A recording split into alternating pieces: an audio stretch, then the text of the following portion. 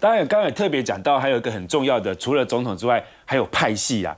到底新潮流在这中间里面扮演了多大的影响力？扮演什么样的一个角色哦？这个派系感觉比总统还要大，比行政院长还要大哦。现在派系泛化压垮陈吉仲是最后一根稻草吗？最妙的是前环保署副署长张顺贵哦，他跟这个陈吉仲两个人骂吉骂吉，因为他们都是学界出身的，都是社运出身的，情感很浓厚。张松贵说：“面对敌人，我不怕。最可怕的，从来都不是前方来的敌人，而是同一个阵营在背后捅刀、扯后腿的同志啊！到底是谁啊？大家还在猜。他告诉你答案，这个人就是郑文灿。郑文灿说：‘陈吉仲，你政务官就要负为政策负责，你要他走人。’最大派系，他虽然没有讲谁，大家知道是新潮流。新潮流已经不再尊重总统跟行政院长，有人觊觎农业部长的位置那么久了。好了，离开也好，写这么白，但撑不久，很快他就把它删掉了哈。那被点名这一个最大的背后的这个捅人家一刀的同志，就是郑文灿。他确实有第一时间板着脸说：“陈吉仲，你还是要对外说清楚啊。”然后今天陈吉仲离开了。哎，他就另外一个啦。他说陈其仲从主委做到部长，评价很好啊。政治的扭曲是不必要的。这个啊，不过确实人家走了，你也不能再说怎么只 说说，也只能这样说了啊。然后另外一个早上跟下午，大家会格外注意他的是赖清德，因为根据吴子嘉透露的民调，在这个礼拜蛋的这个事情，已经让赖清德民调一口气掉了七趴这么多。几乎是发生了一个重大事件才会跌跌到七趴啊！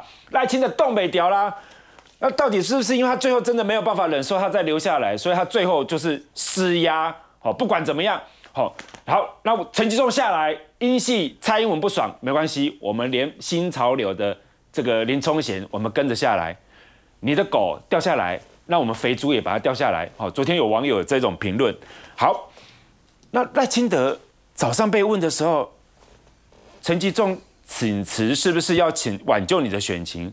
笑笑的哦，很开心的走过去。很久没有看到他被记者堵问的时候是笑而不答，笑得这么灿烂。到下午他到中常会的时候，他称赞了陈吉仲，他说陈吉仲辛苦啦，展现了政务官的精神。过去为台湾的农业贡献这么多，但有人讲说啊，既然贡献那么多，又展现政务官的精神，何以要他离开呢？哦，这个就要请教杨敏了。呃，首先哦，第一个，我我我就我的了解了，你知道今天哦，农业部哦是呃那个警备森严，怎么说？今天早上很多农业部的公务员哦去上班，以前哦就是大家因为现在很多上班都还戴着口罩，嗯，就这样进去刷个卡就进去了。嗯，今天哦，所有的那个前面楼楼下的保全哦都会要求大家把口罩拿下来，要确定你是自自己人才可以进去。怕人家闹事吗？哎，对，因为今天是陈吉仲最后一天上班，那最后一天干嘛闹事？他都要走了，怕有人混进去抗议或干嘛的。所以今天第一个就是农业部今天警备森严，好，这第一个。第二个，呃，我听到的消息是礼拜一的晚上，就礼拜天那个那个乌龙什么请辞那个就过了就算了。可是呢，礼拜一的晚上，最后府院党还是达成一个共识，就是陈吉仲要在这个礼拜离开。嗯，那个礼拜一的晚上也达成共识了。可是呢，陈吉仲看起来他礼拜二没有照这个剧本走，因为他也不断的开记者会。对，不不只是先去跟民进党的团的这个总召报告嘛。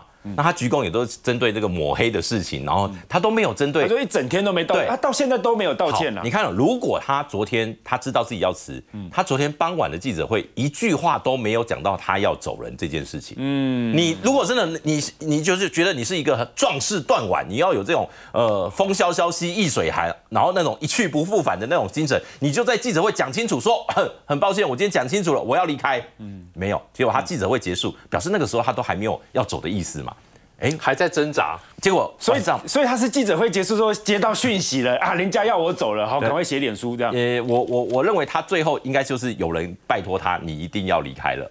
啊，然后所以最后就是八点，而且呢，哎，可是他很厉害哎，五点半的机会记者会开到六点多，两千字哎，他瞬间一下就写好了。呃，那个我认为这个是那个是早就写好的啦。啊，是哦，随时可以上。哦，对，我跟你讲，这个很多政务官都是那个要离开的时候要写什么，早就已经准备好，只是最后再论一下。哦，嗯，所以我决定请辞，什么？其实格式差不多嘛，也不用讲说我决定哪一天请辞嘛。好，可是呢，重点是在于陈吉仲一请辞，林冲贤跟着发脸书请辞，嗯，那就表示这两个人，哎，礼拜天的时候只有陈吉仲哦，嗯，那为什么到了礼拜二变成两个一起辞？嗯，那就是我讲这个就叫做政治处理，就派系的平衡，你就会觉得很像云豹的董事长、前董事长啦，那个那个赖静玲，他辞掉云豹的，你看后来在野党要打云豹没有了，嗯，这个议题就在。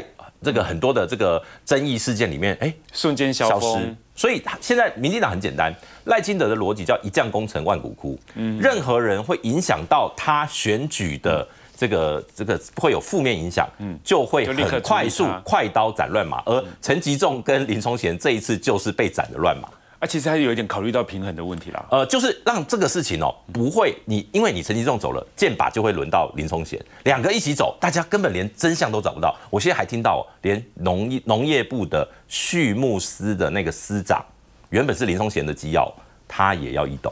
哦，就是说就是动得这么大。但是我要请教呀，继续请教杨敏一件事情哦，因为林静怡昨天。啊，其实包括谢欣妮，她有一些脸书上的发言，后来都遭到很多的反噬哈。林静怡她说，其实你看，只有陈其中很认真的对外解释啊，很多人都觉得事不关己，都没有帮忙澄清哦。而有人很害怕，如果帮忙澄清会被亲朋好友骂你是一四五零，不如少一事啊。哎，可是。我们在追查蛋的人也被骂红媒啊、境外势力啊、什么共鸣者啊，哦，我们也没在怕啊。好，如果你觉得对的事情，何必怕人说怕人家说你是一四五零呢？像是王必胜，他就什么都不怕，他跑去这个赞虾陈吉仲说，哇，陈吉仲你你有请辞是政务官的典范。而有人讲说，华尔街日报不是证实陈秦刚的这个婚外情吗？这个有人说秦刚可能会觉得王必胜是他的典范呐。啊，杨小三的典范还可以升官呐。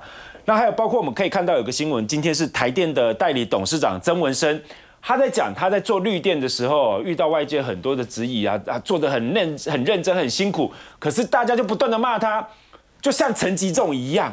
所以讲到像陈吉仲的时候，他就两度哽咽了。可是刚刚好，就这么刚好，同一个时间，国家地理杂志选出了这一个哦地方的地方组的第一名的照片。大家看了非常震惊啊！他在一片荒芜的光电板里面，已经荒烟蔓草，全部都长满了杂草了。他说，荒废的太阳能板，人类离开之后，逐渐的被自然给收复，被蔓延的植物跟尘土给覆盖，不会收复，它会造成严重的污染。这一张照片得到了今年地方组的冠军哦！我不知道哭的该哭的到底是谁呢？还有另外一个哭笑不得的。之前徐巧芯不是被高嘉宇酸，从他是竹科工程师，要一颗一颗检查这一些鸡蛋吗？结果现在陈其迈哦，跟其他绿营县市做法不一样，他特别积极啊。他说现在我们调查每一颗蛋都要算清楚哦。请教杨明。呃，我们就先讲哦，其实詹顺贵跟曾文生跟这个陈吉仲，他们都是小英那个第一次执政的时候，二零一六年的时候，他们都是所谓的。呃，用社会形象人士入阁的这个次长级啦，嗯，就是像那时候，呃，陈吉仲是农委会副主委，然后詹顺贵是环保署副署长，哦，那曾文生那时候应该在经济部的次长，所以就是他们其实我觉得有有一点那种呃革命情感，同一个世代，对对对，所以他们彼此可能觉得说啊，共事这么久，所以他特别有感觉啦。那我们就尊重哦，这个曾文生次长的眼泪哦，不管他是真的假的，但是呃，这个林静怡他讲这句话哦，其实。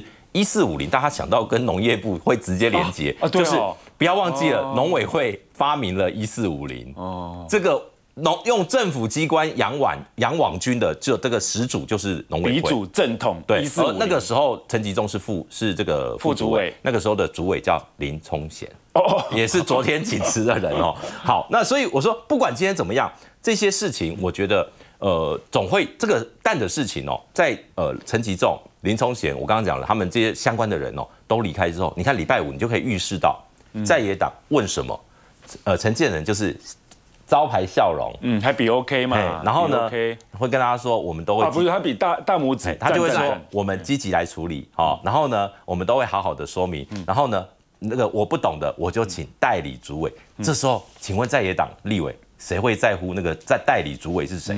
所以蛋的问题，除非后续有更严重的食安的议题，否则我认为哦，后续可能要再打不容易。国军也出现一个很严重的管理的问题哦，我们居然在海军有中士拿榔头去打中校。我们休息一下，马上回来。